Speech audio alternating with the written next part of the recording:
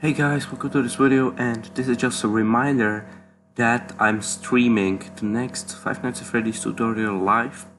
So in 50 minutes, tune in uh, so you can ask me any requests.